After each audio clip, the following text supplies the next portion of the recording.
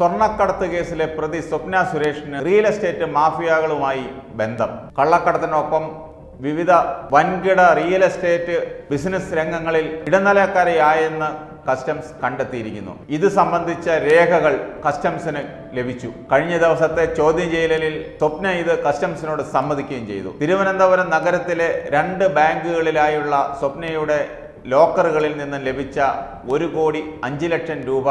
ഈ അടുത്ത സമയത്ത് നടന്ന ഒരു ബിസിനസ് ഡീലിൽ ലഭിച്ച പാരിതോഷികമാണെന്നാണ് സ്വപ്ന വെളിപ്പെടുത്തിയത്. മാത്രമല്ല അതിനോടൊപ്പം കിട്ടിയ നൂറ്റി ഇരുപത്തി മൂന്ന് പവൻ ഏകദേശം ഒരു കിലോ സ്വർണവും കസ്റ്റംസ് കണ്ടെടുത്തിരുന്നു. ഈ സ്വർണം വിവാഹ സമ്മാനമായി അറബി നൽകിയതാണെന്നാണ് സ്വപ്നയുടെ മൊഴി.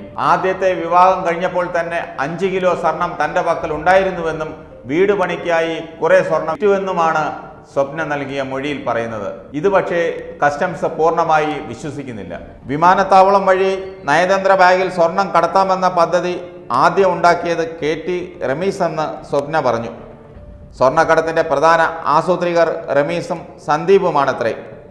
റമീസും സന്ദീപും ആദ്യം ദുബായിൽ വെച്ചാണ് കാണുന്നതെന്നും സ്വപ്ന വ്യക്തമാക്കി. ഇതിനുശേഷം ഇവർ രണ്ടുപേരും ചേർന്നാണ് നയതന്ത്ര ബാഗിൽ സ്വർണം കടത്താനുള്ള പ്ലാൻ തയ്യാറാക്കിയത്. ഈ കടത്തിലെ പ്രധാനികളും ആസൂത്രികരും ഇവർ തന്നെയാണെന്ന് സ്വപ്ന പറയുന്നു. റമീസും സന്ദീപും ആദ്യമായി കാണുന്നത് ദുബായിൽ വെച്ചാണത്രേ. ഇതിനുശേഷം ഇവർ രണ്ടുപേരും ചേർന്നാണ് സ്വർണക്കടത്ത് നടത്താനുള്ള പദ്ധതികൾ ആസൂത്രണം ചെയ്തത്. ഇതിനെല്ലാം ശേഷമാണ് സരിത്തിനെ സന്ദീപ് പരിചയപ്പെടുന്നത്. അതുവഴി സ്വപ്നയെയും ഈ റാക്കറ്റിൽ ഉൾപ്പെടുത്തുകയായിരുന്നു.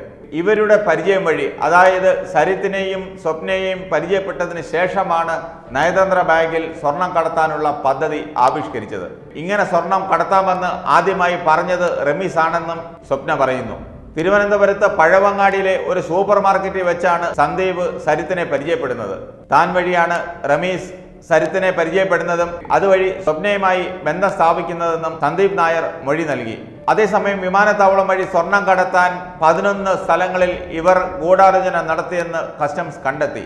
അതിനായി പലതവണയായി ഇവർ കൂടിയാലോചന നടത്തിയതായി എൻ ഐ എയും വെളിപ്പെടുത്തുന്നു. പ്രതികൾ ഒത്തുകൂടിയതിന്റെ സി സി ടി വി ദൃശ്യങ്ങളും എൻ ഐക്ക് ലഭിച്ചു. ഇത് വിശദമായി പരിശോധിച്ചു വരികയാണ്. സ്വർണക്കടത്തിൽ പങ്കാളികളായുള്ള മറ്റുള്ളവരുടെ പേരുവിവരങ്ങൾ സന്ദീപ് നായരും സരിത്തും സ്വപ്നയും പറഞ്ഞതായിട്ടാണ് അറിവ്. ഇവരുടെ മൊഴികളുടെ അടിസ്ഥാനത്തിൽ അന്വേഷണം പുരോഗമിക്കുകയാണെന്നും എൻ ഐ എ വെളിപ്പെടുത്തി. ഇവരുടെ മൊഴികളുടെ അടിസ്ഥാനത്തിൽ മുൻ ഐ ടി സെക്രട്ടറി ശിവശങ്കറിനെ തിങ്കളാഴ്ച എൻ ഐ എ വീണ്ടും ചോദ്യം ചെയ്യും. അതേസമയം ഈ സ്വർണക്കടത്ത് കേസിൽ കോൺസുലേറ്റ് ജനറലിനും പങ്കുണ്ടെന്ന് സ്വപ്ന സുരേഷ് നൽകിയ മൊഴിയിൽ വ്യക്തമാക്കുന്നു.